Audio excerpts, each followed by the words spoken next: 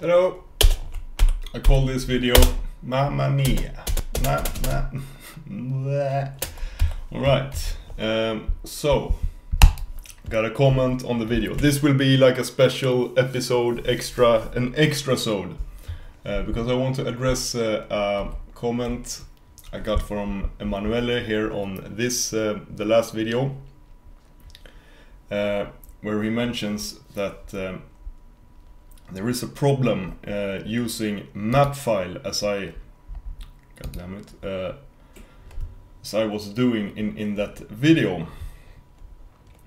Because uh, in the script we created we we looped our slides you know? So each slide will become an element in an array but then we also uh, create a new array uh, where we use a underscore as the, the delimiter for to create different lines in each slide. But there is a weird thing with Mapfile, and I'm wondering if this is not uh, actually a bug in Mapfile. I have to. I'm going to investigate this uh, a bit further, and maybe it would be really cool to report a bug report to uh, for Bash. But whatever. Uh, the problem is uh, the following. Um, if we do map file uh, dash t dash d underscore uh, create an array we can call it mama and we use the string mia. This is uh, Emanuele's uh, example here. Well it's actually two m's. I guess it's two m's in okay I'm sorry. I wanted it to be like uh, uh it authentic and I thought maybe mama is spelled with one M in Italian. Sorry for that. It's two M's apparently. Okay. We do this. This should create an array here now that's called mama. So we can do echo mama. We can do dollar zero because it's only it it only contains one element. Uh, this string it doesn't have any underscores. And that gives us this. There's a trailing uh, blank line in this string. And it is from Mapfile here. It's uh, Mapfile who, for some weird reason, append uh, a blank line to the last element in the array. If you're if you're not uh, using blank line as the delimiter and t, then it will not add that. We, we get back to this. Maybe to make it even more clear, we could uh, extend this string and use an underscore here. And now if I do uh, first index here, mama 0, it just prints ex because ex is the first thing, then underscore, delimiter. But last element, mia, still have that trailing new line. Very annoying in my opinion. Uh, and I tried this a bit uh, to see if maybe maybe this would work you know?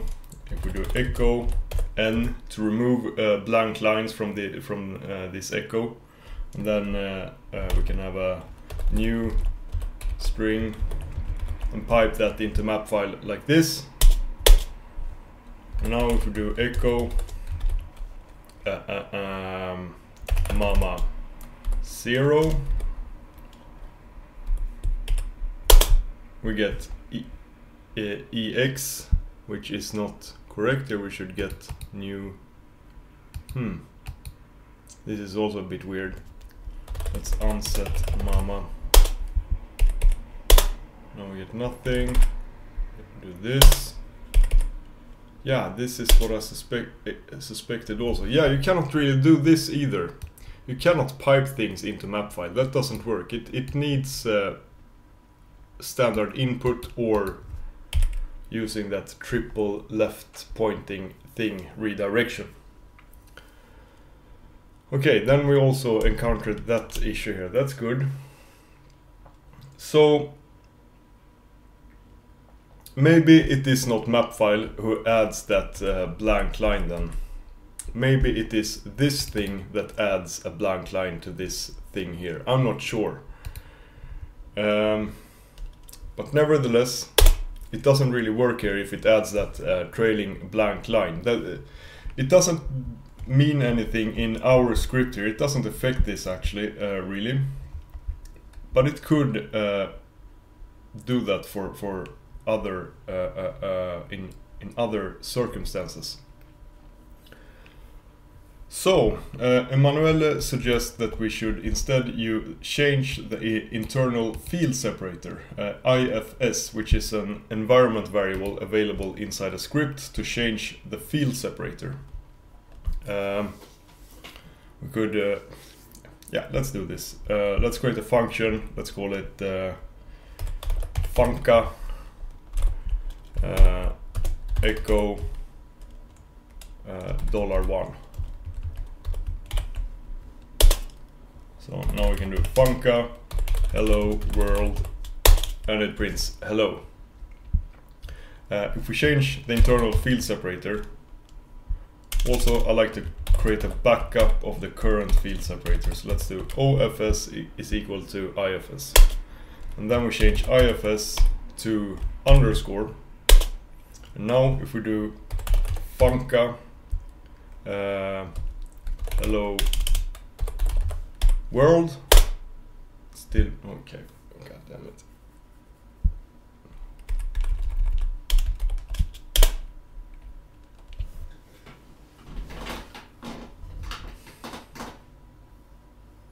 IFS is a weird thing. That, that's why I, I, I kind of don't like to mess with IFS because it's uh, unpredictable, in my opinion, how it will how things will work. But now we have IFS set to an underscore here. Uh, let's do this also. So echo I whatever. And that means we can do for line in. Uh, we give it a string line one, line two, separated by underscore. Uh, do echo line Done. Done. And that does this.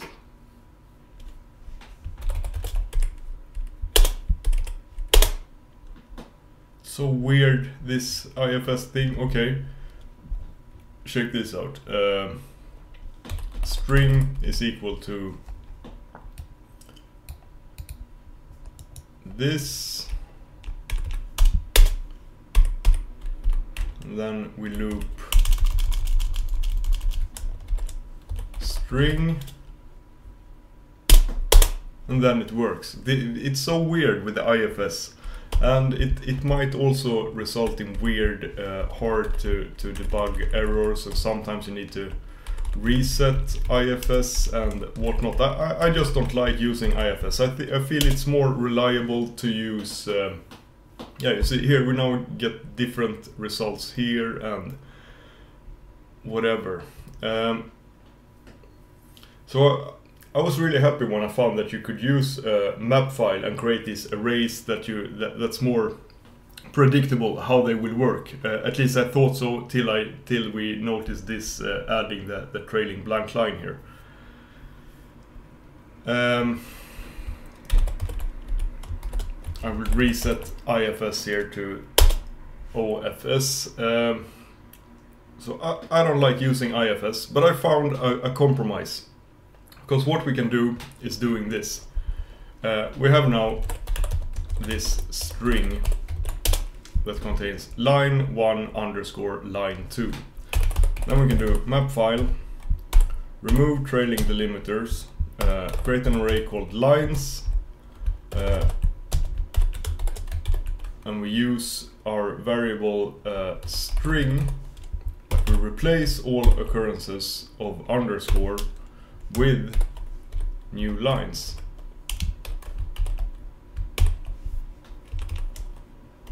Important single quote there. now we can echo lines 1, the last uh, uh, element in this array, and it doesn't include the trailing new line because that is removed uh, with T here. So I guess um, uh, uh, map file dash d uh, is considered harmful.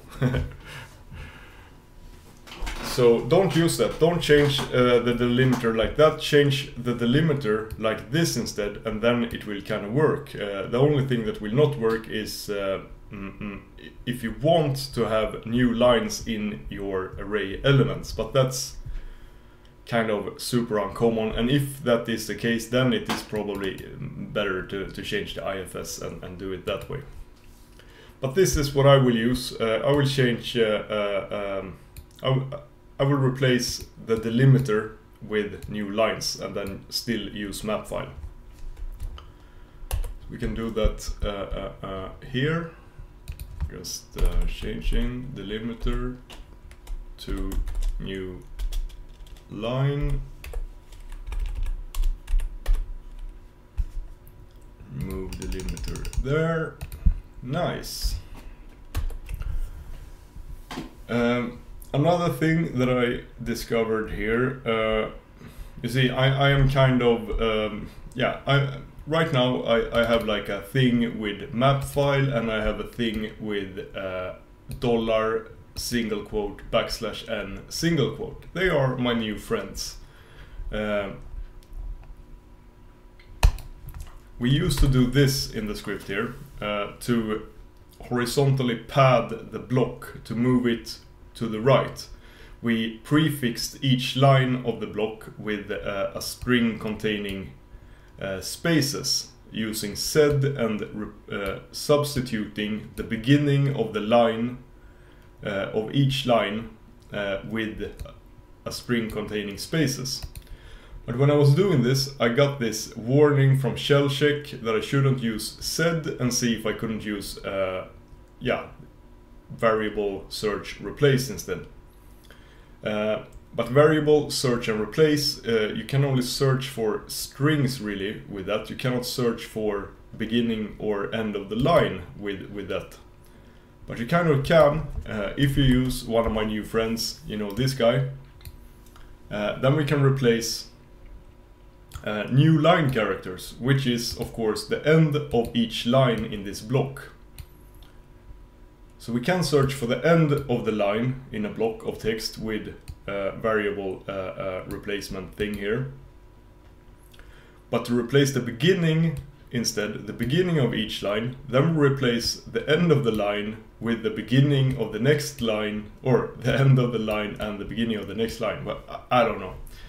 But maybe, maybe you get this. Uh, so, we search for line breaks, we, we replace each line break with a new line break, but after that line break we also add the, the prefix, the beginning of the next line. So we add the spaces there.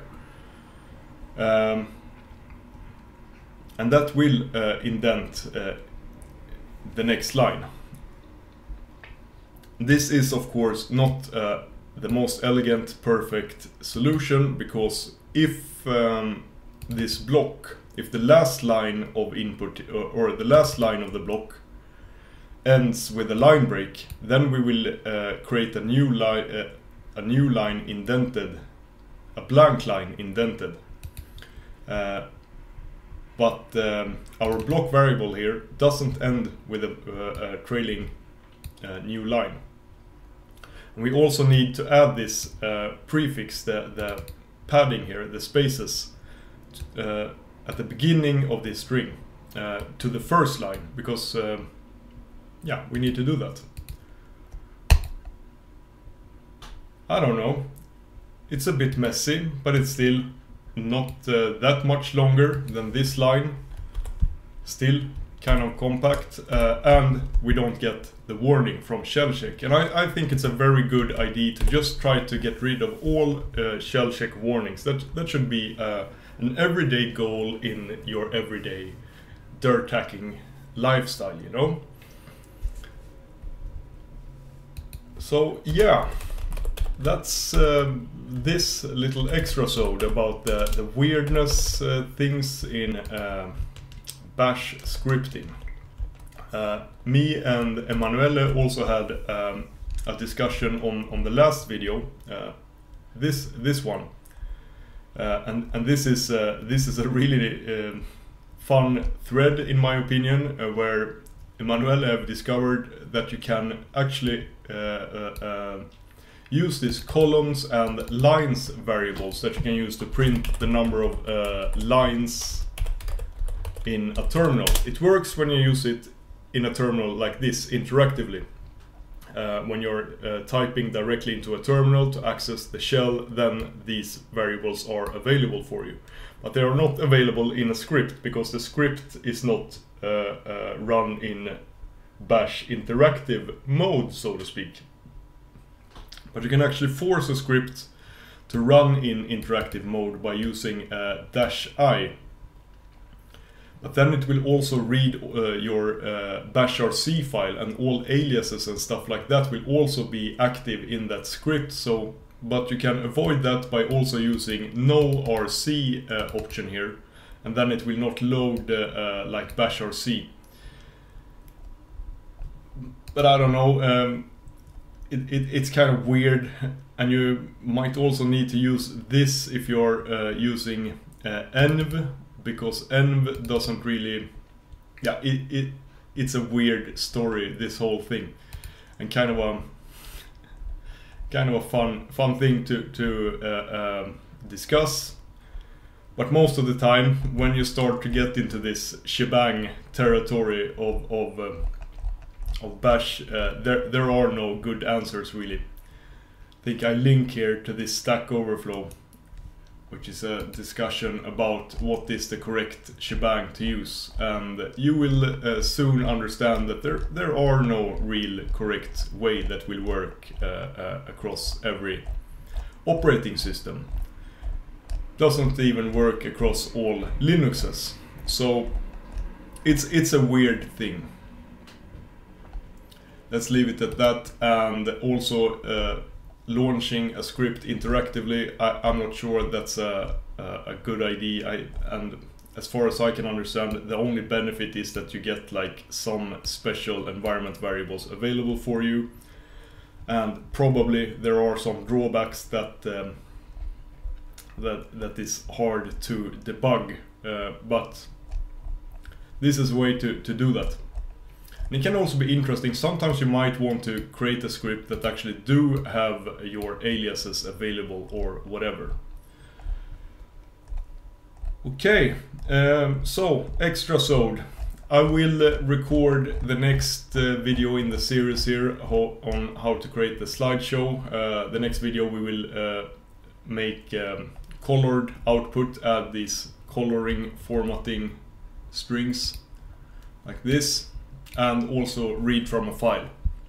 Uh, and I will record that uh, video immediately here now and uh, upload them almost uh, uh, back to back or maybe not. We I, I don't know. I don't know. Maybe I upload this video tomorrow and that video first. I, I don't know. I'm not sure. But you have a great day. Bye.